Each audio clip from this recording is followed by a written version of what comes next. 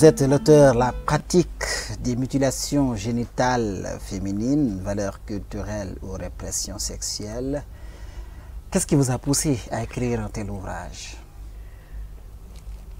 Une euh, longue trajectoire qui a commencé euh, par la participation au séminaire de Dakar, à la formation d'abord, le premier séminaire de Dakar sur les pratiques traditionnelles affectant la santé des femmes et des enfants. Ça, c'est dans les années 80. 84, c'est exactement au mois de février 84.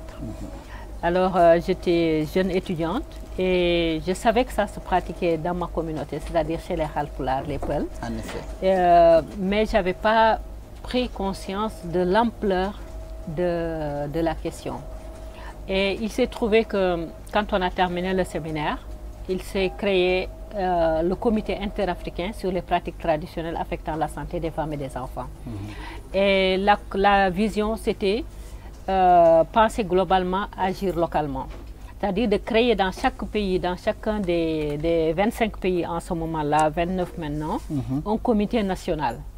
Et on- nous, les Sénégalais, nous avons créé le comité national au terme du séminaire. Et bon, bien que j'étais avec les grandes sœurs, les Ndiaye, les euh, Fatou Sow, euh, Madame euh, Fatou Sow Diagne, euh, et tout ça, elles m'ont quand même nommé secrétaire général de cette organisation. Alors, on a commencé un travail de sensibilisation et tout ça, euh, des séminaires avec, avec certains gynécologues et tout ça. Alors, j'ai commencé, on a fait beaucoup de travail et c'est à ce titre que j'ai été à la conférence de Nairobi en 85, financée par l'UNICEF. Bon, jusqu'en 89 où j'ai été au Canada. Et bon, je pensais vraiment avoir laissé cette question-là derrière, derrière moi. Jusqu'à ce que le bureau euh, du, le bureau du gouverneur de- du Québec me contacte pour me dire on cherche des femmes qui, qui, qui, qui, qui y connaissent, euh, qui s'y connaissent en matière de mutilation génitale féminine. Je dis mais qu'est-ce que le Canada a à voir avec? Il se trouve qu'il y avait une femme qui avait accouché à l'hôpital. Elle était cousue, infibulée donc et il fallait la découdre. Bon, les professionnels de la santé ont eu tout le mal pour la découdre. Et quand, une fois que c'est fait, son mari a tapé le poing sur la table en disant Mais remettez ma femme telle qu'elle était. C'est-à-dire recousez-la, comme ça se fait traditionnellement dans ces pays-là, où la femme est cousue quand elle accouche, recousue, euh, décousue quand elle, etc., etc. Et euh, comme on avait, moi j'avais créé un, réseau des femmes euh, que l'on appelait Femmes africaines Horizon 2015 pour aider les femmes africaines ou les réfugiés africains à s'intégrer au Canada en général et au Québec en particulier, c'est-à-dire en milieu francophone. Alors, on a, com- comme on a vu que le problème se présentait, on a fait de notre mission la priorité, c'est-à-dire pour aviser les femmes pour que ce qui est arrivé aux femmes africaines en France, c'est-à-dire d'être prises en flagrant délit, d'exciser leurs filles, euh, d'être tiennées devant la justice, d'être expulsées, etc., pour que ça n'arrive pas aux Africaines au Canada. Alors, de fil en aiguille, je suis devenue vraiment spécialiste. Et ça fait des années que je traîne ce livre, mais il fallait vraiment une certaine maturité parce qu'à chaque fois, il y avait un point qui n'était pas clair. Il me fallait l'approfondir. Et je peux dire que c'est une œuvre de maturité aujourd'hui, pratiquement au terme de 30 ans d'expérience, d'intervention, d'analyse, euh, d'écriture de- d'articles et tout ça, comme vous le voyez dans la biblio- bibliographie. Et comme le dit euh, euh, l'auteur de la préface du livre, c'est-à-dire professeur Eva Maricol.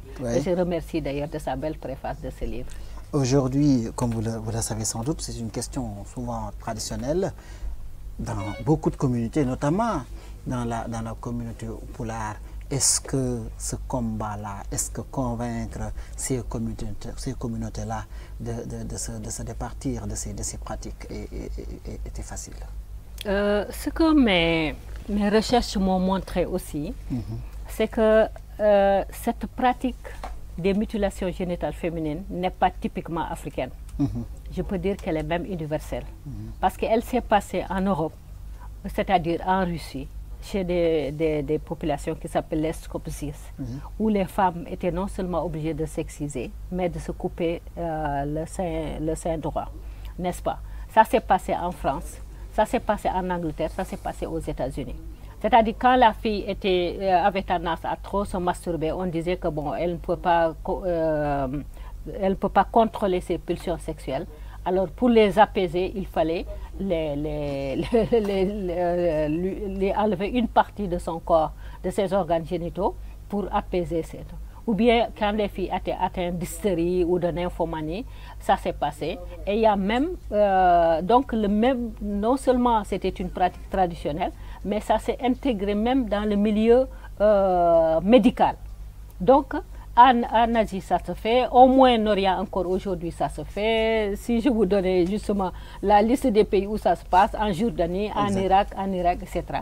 Donc, pour dire qu'il y a une déconstruction d'abord à faire, à mhm. faire et ce que j'ai fait dans le livre-là, mhm. de dire, de démontrer scientifiquement, preuve à l'appui, que la, les mutilations génitales féminines ne sont pas une pratique typiquement africaine, c'est une pratique universelle. Mhm. D'où certaines féministes disent que c'est une forme de contrôle du corps et de la sexualité de la femme, mhm. n'est-ce pas? Donc, ça s'est euh, arrêté. Ça D'ailleurs, il y a un certain médecin qui s'appelle Brown qui l'a fait sur sa sœur. Et ça a fait un tollé général. Donc, c'est grâce aux mouvements sociaux, euh, grâce à une certaine révolution, que ça s'est arrêté en Europe. Mais nous, bloqués dans notre avancement, l'Afrique bloquée dans son avancement, euh, par l'esclavage, par la colonisation, il y a un repris identitaire. Donc, au lieu de tamiser nos cultures, de faire une révolution culturelle, de se débarrasser de ce qui n'est pas, qui pas positif, euh, de ce qui est négatif et de garder ce qui est positif, de le valoriser, nous ne le faisons pas. De telle chose que ce n'est pas facile, mais seulement ce n'est pas impossible non plus. Parce que ce n'est pas seulement la communauté alpoulard qui est concernée. Il y a les Diola qui le font, il y a les Soninki qui le font, etc. etc. Mhm. Mais, comme disait euh, Mandela, l'éducation est l'arme la plus puissante pour changer les mentalités. Mhm. Euh, donc, les lois, c'est bon, ça peut constituer comme des épées, un épée de Démoclès, mhm. mais ce n'est pas l'arme la, plus euh, facile. C'est l'éducation. Par exemple, quand Molly Melching de, de a fait le travail à, comment s'appelle, le village là, mhm. c'est le village en entier qui a décidé que... N'est-ce pas Malikunda? Ah, Malikunda, exactement. Effectivement, j'y étais. Malikunda Bambara. Voilà, c'est le premier village qui a décidé, mhm. tout le monde compris, la société civile, les chefs religieux, les chefs traditionnels, d'abandonner cette pratique. Pourquoi? Parce que Molly a su avoir une stratégie d'information, d'éducation. Et ce qui été extraordinaire, c'est l'exciseuse traditionnelle, mhm. n'est-ce pas? Euh, Une certaine euh, salle, je crois. Mhm. Et qui a dit que, parce que la stratégie que nous avions également, c'est de faire remplacer ces pratiques-là par en disant, dites-nous... donner des activités. voilà, des activités, on, vous, mhm. on vous finance un projet. Alors, euh, la, la, dame, l'exciseuse traditionnelle, quand on lui a demandé, elle a dit, tout ce que je demande, c'est le pardon le pardon à des générations de filles et de femmes, dont mes propres filles, que j'ai excisées croyant leur faire du bien alors que je leur faisais du mal. Pour vous dire la force de l'information, de l'éducation et de la communication mhm. qui peut amener les gens à changer de mentalité, à changer de comportement. Et ça, ça peut être dans tous les domaines.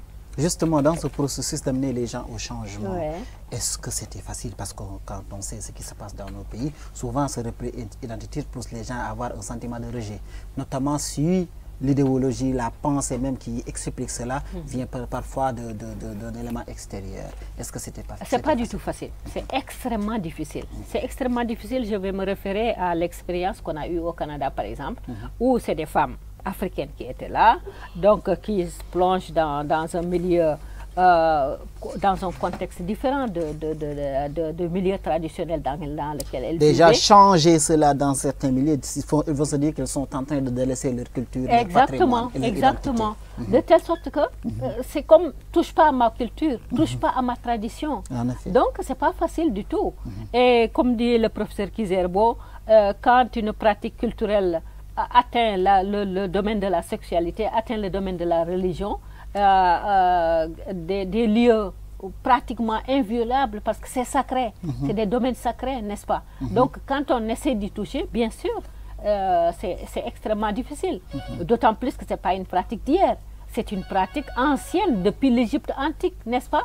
On a trouvé des, des momies égyptiennes qui étaient excisées, n'est-ce pas? Et ça, ça relève, c'est vrai que l'origine, c'est l'origine est africaine, mhm. comme le démontre le professeur Paul Correa, mhm. euh, un, gynécologue avec, la, avec lequel nous avons fait beaucoup de travail, qui a appuyé nos travaux, qui, qui disait que Hérodote, qui était de 485-475 avant Jésus-Christ, l'a mentionné comme une pratique traditionnelle.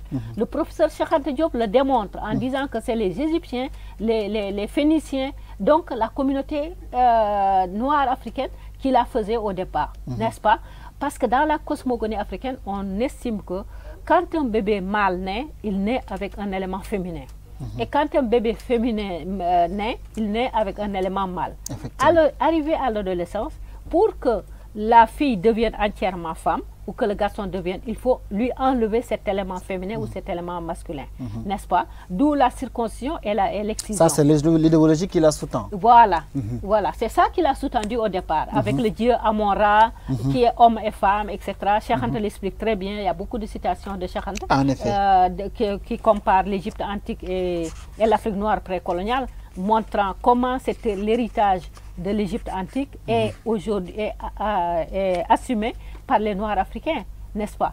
Donc, c'est ça, ça aussi. Donc, c'est profondément ancré dans les mentalités. Et ce qui est profondément ancré dans les mentalités, qui est aussi euh, hum, cimenté par la religion, parce qu'on vous dit que c'est la religion qui le dicte. Mhm. Et il y a beaucoup de gens qui te disent que c'est la religion musulmane. Mhm. Alors que ce qui est extraordinaire, euh, M. Top, ce que j'ai découvert à travers mes recherches, mhm. c'est que autant la circoncision est faite uniquement par les musulmans et les juifs, autant l'excision est faite par toutes les religions, qu'elles soient chrétiennes, qu'elles soient coptes, qu'elle soit protestante, qu'elle soit que, euh, que, les gens croient aux religions traditionnelles, mhm. n'est-ce pas? Mhm. Et on la trouve chez, chez, euh, chez différents peuples, des peuples mhm. que différencient l'espace, le, temps, c'est-à-dire autant les Européens que les moins géographie mondiale de l'exclusion. Voilà, exactement. Et mhm. c'est là que je dis qu'il y a une mondialisation de l'exclusion, mhm. n'est-ce pas? C'est une pratique universelle. Mhm. Donc, ce n'est pas, pas facile à extirper du jour au lendemain, mais quand même, il y a des avancées certaines, il y a des avancées certaines. Euh, il y a déjà que pendant longtemps, c'est resté un, sujet tabou dont on ne parlait même pas. Maintenant, au, au bout d'un certain temps, quand même, nous, le comité interafricain, quand on a travaillé, il nous a fallu dix années c'est au, euh, le, comité a été créé en 84. C'est en 95, à la conférence de Beijing, que nous avons reçu le prix des Nations Unies. Mhm. En ce moment déjà, le tabou était un peu tombé. Mhm. Nous avons continué le travail. Tous les trois ans, nous avons une conférence euh, euh, dans un pays différent. Nous avons fait du lobbying auprès des Nations Unies, n'est-ce pas? Au point que les Nations Unies ont décrété 6 février euh, journée tolérance zéro aux mutilations génitales féminines, mhm. n'est-ce pas? Au point qu'il y a eu des lois au niveau national, comme au Sénégal, comme dans beaucoup de pays, n'est-ce pas? Ça, je le démontre Exactement. aussi. Tous les pays qui ont pris des lois, mhm. euh, dont les pays occidentaux aussi, parce qu'avec l'émigration sud-nord, euh, comme je dis, quand les, quand les populations émigrent, ils n'en partent pas seulement avec leur bagage, ils partent avec leur bagage culturel également. Il y a un choc des civilisations, voilà, des cultures, pour reprendre Samuel Huntington. Et c'est comme si les gens on peut voir que, par exemple, les, femmes qui sont en Afrique mhm. évoluent dans, ce, dans, dans, dans, le sens de l'abandon, mais les femmes africaines qui ont immigré en Occident tiennent à ça parce qu'elles se disent c'est nos cultures, c'est nos traditions et c'est sacré, on n'y touche pas. Mhm. De telle sorte que, euh, comme vous dites, euh, c'est pas, c'est un sujet extrêmement lourd culturellement d'autant plus que c'est cimenté par la religion et tout ça, euh, de façon euh, non fondée. Non fondée Juste, mais, mais, nous avons vu cependant, quoi que le sujet soit, soit lourd, nous avons vu que vraiment il y a des résultats. Exactement. Nous avons vu que vraiment il y a des résultats, notamment chez nous. Aujourd'hui, quelle a été la force de communication qui a été utilisée réellement pour que dans certaines contrées, dans certaines bourgades, que les gens délaissent ces pratiques pour au moins comprendre que c'était évident. Je crois que ça a été l'information et l'éducation. Mhm. Je crois que ça a été aussi euh, le vécu. Mhm. Le vécu, c'est quoi? C'est-à-dire qu'on sait que dans telle famille, quand on a excisé telle fille, il y a eu des décès parmi les, filles excisées. Mhm. Donc, quand, et bon, euh, au début, quand la fille meurt, qu'est-ce qu'on dit? Ah oui, peut-être que sa mère avait mal agi, euh, peut-être c'est les dieux qui l'ont tuée, elle a été punie, etc., etc. Mais quand des gens viennent de l'extérieur, et surtout quand ce sont des gens qui sont de la communauté, mhm. moi je suis Halpla, quand je viens expliquer aux Halpla, non, en fait, c'est que c'est ça, ça, ça, c'est néfaste. Même les si gens pas font facile le au lien. début. hein. Même s'il faut reconnaître, au début, ça peut ne pas être facile. hein. Voilà. Parfois, on peut même vous taxer d'avoir perdu votre culture et tout. hein. exactement. Moi, je me rappelle quand j'ai fait la conférence une fois à Montréal, Mhm. j'ai un grand frère que j'aime beaucoup, paix à son âme, il est décédé. Mhm. Alors, il me dit, un jour on se rencontre, il me dit, Hawa, je t'avais appelé pour que vraiment tu saches que ça, c'est nos cultures et nos traditions. Alors, on discute, on était dans une voiture, on allait à une réunion. On discute à un moment donné, il me dit, d'ailleurs, moi, ma soeur, euh, quand elle a été excisée, elle est décédée. Je lui dis, mais Dédé, euh, Dédé, ça veut dire grand frère ou grande sœur, une, culte- une tradition qui tue, on doit l'abandonner. Il me dit, ah, Ali Gongadi, tu as raison. En effet. Alors, c'est aussi l'expérience des gens. Parce qu'ils ont vu que euh, avec l'excision, telle et telle famille ont perdu leurs enfants. Ils savent quand même qu'aucune mère ne veut perdre son enfant. Une belle occasion pour au moins se rappeler de façon brève aujourd'hui les conséquences Ouais, encore. ouais. Pas les conséquences immédiates, mais sou- souvent, peut-être la mort euh, suite à une mutilation génitale, c'est une conséquence immédiate. Mais il y a des conséquences Énormément, le énormément. Les conséquences. les, conséquences, juste- les conséquences sont énormes, M. Top, sont énormes parce qu'il y a eu des conséquences immédiates. La fille peut mourir du, du fait du saignement. Euh, et la fille peut mourir quelques jours après du fait de- des infections parce que les, les- c'est vraiment un matériel très truc tel que des lames de rasoir, euh, tel que des tessons de bouteilles que les exciseurs traditionnels utilisent, n'est-ce pas, pour qui donc il y a des infections, Euh, il y a des, des- au niveau urinaire, la, la fille peut ne plus contenir ses urines, n'est-ce pas, au moment de l'accouchement, la, la fille peut, peut se déchirer par exemple, et, ou bien ne pas à- euh, être à même d'accoucher. Quelquefois, c'est la femme qui meurt, quelquefois, c'est le bébé qui meurt, parce qu'il il, il a souffert justement de- de- de- de- d'un traumatisme, d'être resté trop longtemps sans être évacué, n'est-ce pas?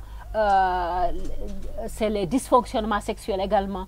La, la femme peut ne, pas, ne plus euh, pouvoir avoir le plaisir sexuel. Exact. Alors que l'islam reconnaît à la femme le, droit d'avoir le plaisir sexuel.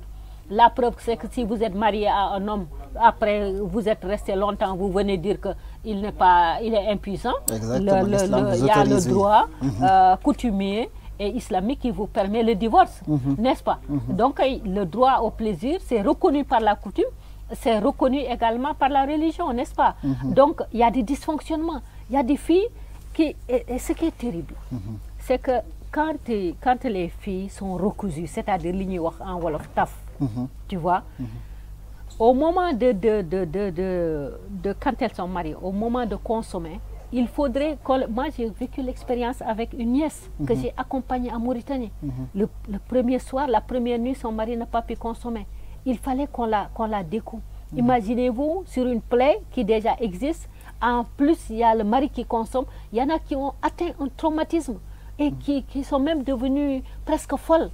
Tu vois on a un cas précis dont à- à- à- qui Assita Diallo parle parle au Mali. oui. Voilà, allez-y. Je dis, il y en a même quand on leur parle de sexualité. Ils ont Exactement. la phobie même de la Et- sexualité. et la parce que phobie, c'est qu'ils ont la- vécu pour la phobie, première la- fois. La phobie, sans, per- sans parler de la Ça peut même pire que le viol. Mais oui, mais oui, c'est pire que le viol. Imaginez-vous, on vous, on vous passe un couteau pour vous découvrir et aussitôt il y a un rapport sexuel. Qu'est-ce que on peut avoir de ces rapports sexuels-là, sinon que de dire que c'est douloureux, c'est atroce, etc., etc. Il y a une femme, elle a, elle a vécu, dont, dont Assita Diallo au- euh, parle au Mali. C'est tout qu'au Mali, chez les Bambara, c'est même pas l'excision, c'est la c'est la, c'est la, c'est la- l'infibulation, où on coupe le clitoris, on coupe les petites lèvres, on, on recoue les grandes lèvres, ne laissant qu'un tout petit orifice qui laisse passer l'urine euh, et les fils.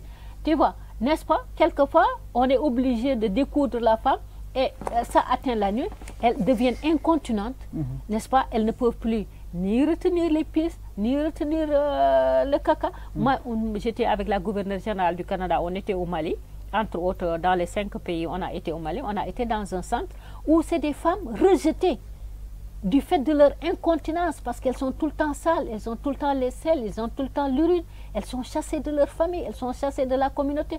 Et heureusement qu'il y a ce centre-là qui les accueille. Donc, elles sont marginalisées socialement. C'est des douleurs physiques, c'est des douleurs psychologiques, c'est des douleurs sociales, sans compter la honte et les, les souffrances de leur famille également. Chez l'enfant également, il y, a les- il y a la perte de confiance. Parce que tu es là avec ta maman, avec ta grand-mère, ta tante, qui un jour te prend, tu entends parler de l'excision, tu as hâte d'être excisé, comme je le démontre aussi dans le truc.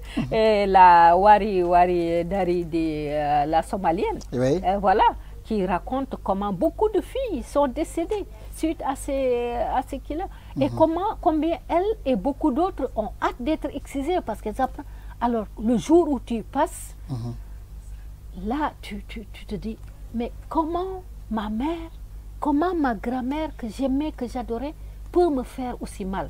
Alors, il y a une perte de confiance qui peut aller, vous parlez de, de conséquences, Oui. aux psychoses, aux névroses. Il y a des femmes qu'on voit devenir folles. Mais la source, c'est les- c'est ces excisions, surtout l'infibulation, n'est-ce pas? Euh, Donc, les, les- les- conséquences sont énormes, monsieur, monsieur Top. Quand on, quand on en revient, quand on, quand on en revient maintenant au, au Sénégal, aujourd'hui nous avons vu qu'il y a une certaine avancée au niveau du, du- du droit, il y a la loi. Est-ce qu'aujourd'hui cette loi s'applique comme il le faut? Est-ce qu'aussi vous, vous êtes satisfait aujourd'hui de cette loi Est-ce qu'il n'y a pas de manquements? Est-ce qu'il n'y a pas aussi une, une possibilité de pouvoir l'améliorer? Vous savez, pour appliquer une loi, il faut d'abord qu'on porte plainte. N'est-ce pas? Si on a excisé une fille, elle ne porte pas plainte. S'il n'y a pas une société civile qui se consacre, qui porte plainte. Donc, pour qu'elle s'applique d'abord, il faut qu'on sache qui a fait ça. Oui. Et ça se passe dans la plupart des cas en, en clandestinité. La preuve, c'est que dans les pays où la loi existe, comme par exemple au Burkina Faso, où on a pris la loi très tôt avec, grâce au, euh, au président Thomas Sankara, qui était euh, vraiment pour la condition de la femme, qui était pour l'égalité homme-femme, qui était presque fé- féministe, on pourrait dire, n'est-ce pas? Euh, Dans les pays où il y a la loi, ce qu'elles font, c'est qu'ils font traverser les filles pour les amener dans un pays où, où ça n'existe pas, comme au Mali. Et on fait exciser les filles.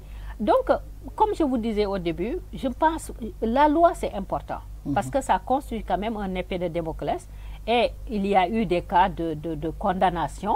Il y a eu, euh, d'abord ça a commencé en France, etc. Mais même dans nos pays, que ce soit au Sénégal, que ce soit au Burkina, que ce soit au Mali, que ce soit dans les pays de l'Est, en tout cas, il y a eu des, des cas de condamnation, n'est-ce pas? Mais c'est extrêmement difficile parce qu'il faut que la famille parle. C'est rare d'aller porter plainte à sa famille, à la police ou, là, où, là où il se doit.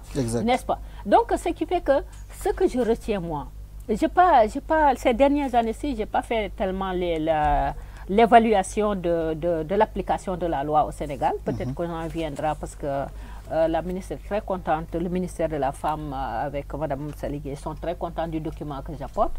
Sont- le secrétaire général qui l'avait envoyé lancement disait qu'il voulait en faire un élément pédagogique et, et- de sensibilisation, un outil pédagogique et de sensibilisation. C'est excellent, puisque c'est un excellent ouvrage quand Ouais, même. merci, merci, merci. Donc, euh, euh, peut-être que j'en viendrai à faire une évaluation où en, est-on- où en est-on précisément? Parce que ce livre, je ne l'ai pas fait pour le Sénégal.